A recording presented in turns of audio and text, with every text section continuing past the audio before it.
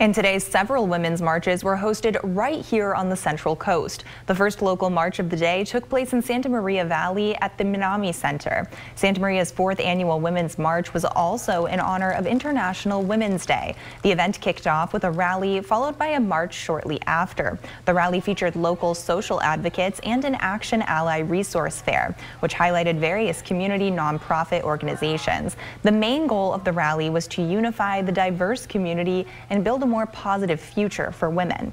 There were also women's marches today in San Luis Obispo and Santa Barbara.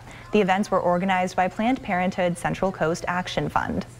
I'm elated to see the turnout today that people are continuing to work for change. We've elected historic numbers of women and diverse people across the Central Coast, and we're here to keep the momentum going, and I'm very excited about that.